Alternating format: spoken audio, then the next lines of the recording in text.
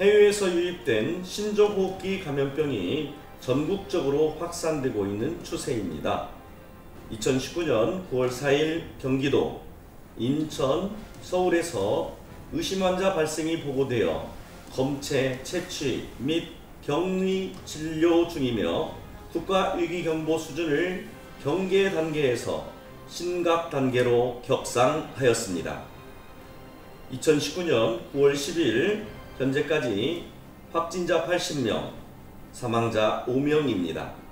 2019년 9월 16일 백석중학교 3학년 김보건 학생이 신종호흡기 감염병 확진으로 진단받아 등교 중지하였습니다. 어제 우리 학교 학생 중 3학년 일반 학생 한 명이 신종호흡기 감염병 확진 판정을 받게 됨에 따라 금일 오전 10시 학생 감염병 관리 조직 회의를 소집하게 되었습니다.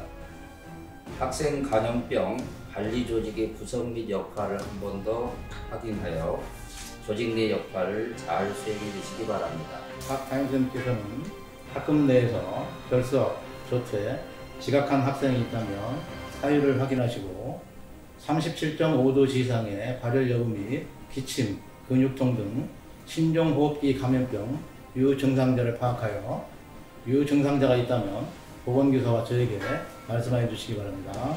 신종호흡기 감염병의 주 증상은 고열과 기침입니다. 가정통신문을 발송하고 고위험군 관리 대책을 수립하겠습니다. 담임 선생님께서는 조치사항을 안내하겠으니 담임 선생님들은 학부모님들께 안내해 주시기 바랍니다. 그리고 오늘 오전 보건소와 통화했는데 협의 및 현장 확인을 위해서 오후 2시에 학교를 방문할 예정이라고 하십니다. 협의에는 관리자, 담임교사, 보건교사, 교무부장님께서 참석하셔야 합니다.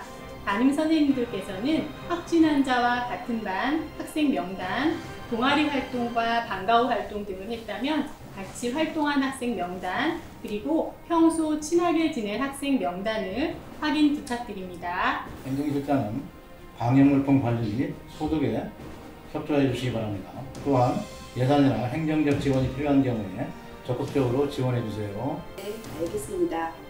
환자 발생을 대비해서 일시적 관찰실을 사용할 수 있도록 조치하셔야 합니다. 네, 일시적 관찰식을 담당할 담당자를 지정토록 하겠습니다. 연구자는 수업 조정과 학생 관리에 대한 조치를 담임선생님에게 안내해 주시기 바랍니다. 10월에 계획되어 있는 체험 활동도 감염병 유행, 유행이 종료될 때까지 연기하도록 하겠습니다. 지금은 국가 위기 상황이니 자체 휴업이 필요하다고 판단된 경우에는 교육지원청과 협의를 거쳐서 휴업을 고려하도록 하겠습니다. 감염병이 확산되지 않도록 서로 협력해서 임무를 수행해 주시기 바라며 신종호흡기 감염병으로 의심되거나 확진되는 학생이 낙인 효과로 어려움을 겪지 않도록 담임 선생님들께서 잘 지도해 주시기 바랍니다. 2019년 9월 27일 오전 11시 백석중학교 1학년 이건강 학생이 고열, 기침 증상 등 신종 호흡기 감염병 유증상을 보이는 것을 담임 교사가 발견하였습니다. 보건 선생님, 저희 반 이건강 학생이 신종호흡기 감염병 의심 증상이 있는데 어떻게 할까요? 부장 선생님께도 말씀드렸습니다. 학생과 선생님 모두 마스크를 쓰고 함께 보건실로 와주세요. 오실 때는 학생과 2m 떨어져서 오시고 다른 학생들이 가까이 오지 않도록 주의해 주세요. 창문을 열어 교실을 꼭 환기시켜 주세요. 안녕하세요, 선생님. 저 몸이 너무 아프고 온몸이 쑤시고 아파요. 최근에 환자 발생 지역이나 병원을 방문한 적이 있나요?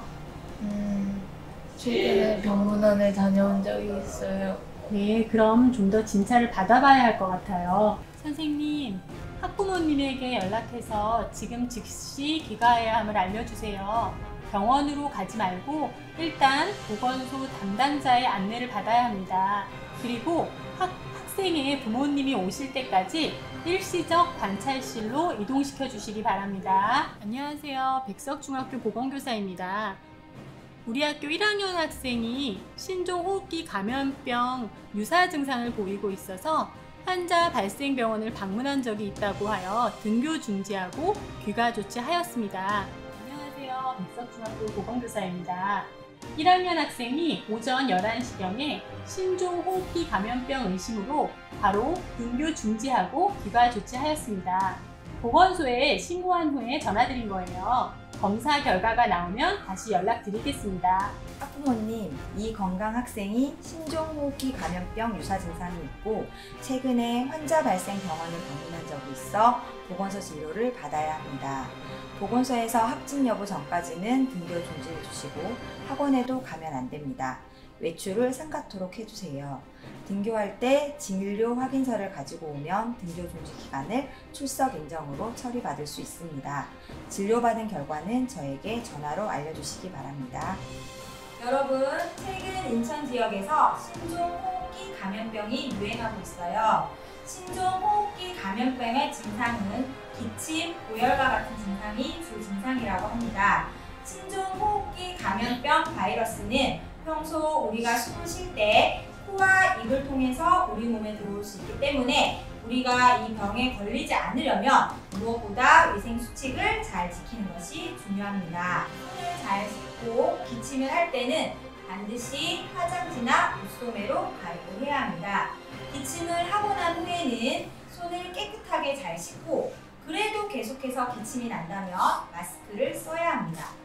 그리고 평소에 개인이 사용하는 물건인 개인 물통, 개인 손수건 등은 다른 친구들과 함께 사용하지 않아야 합니다. 여러분 잘 알겠죠?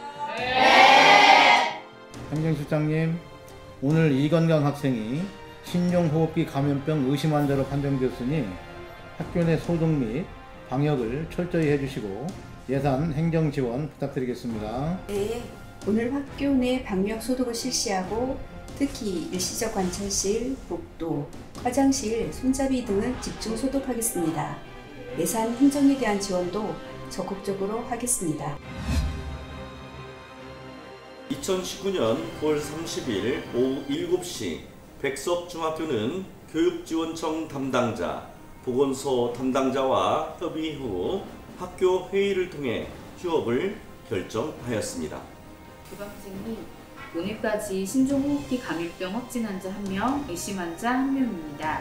감염 학생의 신상 정보가 노출되지 않도록 주의해 주시고 만약 언론 관련 요청이 있을 경우 개별 대응하지 마시고 저에게 꼭 알려주시도록 해주시기 바랍니다.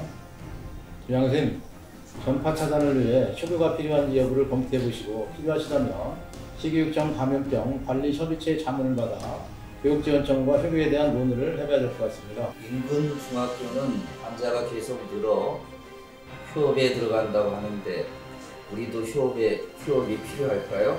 교육지원청에 문의해 휴교나 휴업에 대한 기준들이 있는지를 확인해 보겠습니다. 백석중학교 교감입니다. 우리 학교에 신종호흡기 감염병 의심 환자 1명을 포함하여 현재 2명이 발생하였습니다. 휴업을 검토 중인데 휴업 기준에 대해서 알려주시면 감사하겠습니다.